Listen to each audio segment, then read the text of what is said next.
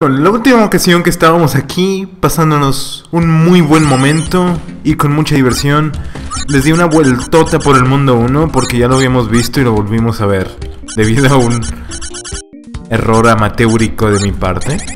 Pero pues, um, creo que ya lo tenemos todo bien puesto, creo que ya vamos bien. Tengo todos los power-ups, así que estoy directamente encaminado para nada más empezar ya con todo el buen flow, el pum shakalaka. Todos. Quisiera sacar otra bonda, otra bonda. otra ronda bonus, una bonda. Hey, ¿qué estás haciendo? Ah, le voy a poner bon on bondas. On le voy a poner rondas bonus a mi juego, bondas como las conozco. Ah, ok. ¿Qué estás? Ah, qué padre, tienen bondas, ¿eh? ¿Sacaste la bonda? Uh, lo siento. Vamos, sube. Oh, ¡Sí! Dame mi Okane. Dame mi salario de salaryman. Que bueno, esos, esas pequeñas cositas de que salen con el um, que salen con cuando haces un movimiento perfecto. Ah, pues es para referenciar los sobrecitos con los que les dan los cheques de paga a los asalariados en Japón, ¿no? Pero bueno.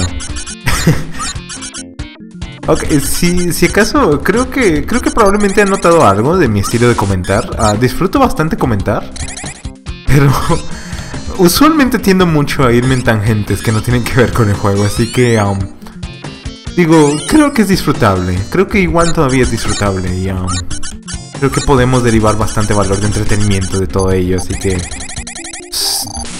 don't worry, keep calm and just carry on. Motherfucker. Motherfucker.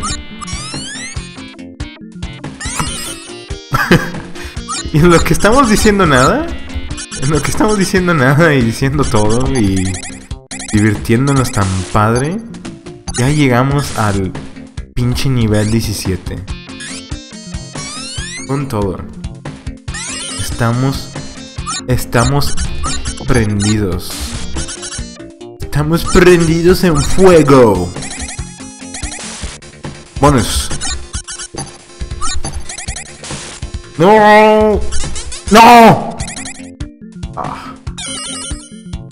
No pensaba que iba a golpear a ese enemigo, pero según yo tenía en mente que los enemigos de los bonuses no te dañaban. Y obviamente estaba en lo erróneo. El power el amarillo. El power up amarillo es el más aburrido de los tres que hay. De los, bueno, de los cuatro si cuentas la linterna verde. ¿Por qué? Porque simplemente expande tu rango. Digo, sí es útil, pero el azul hace que tus tiros sean más poderosos y el rojo hace que vayas más rápido. Mientras que el azul solo es rango. Digo, el amarillo solo es rango. Y tenerlo es tan aburrido. Y aquí vamos con otro enemigo que no tiene el, menor sentido común. Con que, oh, me pregunto, ¿qué debo de hacer con esas bombas? No se me ocurre para qué son. Quizá las puedo congelar y usarlas contra él. Wow. Quizá las puedo congelar y usarlas contra él haciendo aprovechamiento de la mecánica principal de este juego. ¿Quién lo hubiera pensado? Ah, pensaba que ya se iba a ir. Una cosa que me gusta mucho de este juego es de que, no sé si ya lo había mencionado antes, creo que no. Pero um, los jefes no tienen barras de energía, no te muestran, no te dan retroalimentación instantánea sobre cuál es la energía del jefe, sino que simplemente va, uh, va lastimándose más y va, le va sacando más heridas.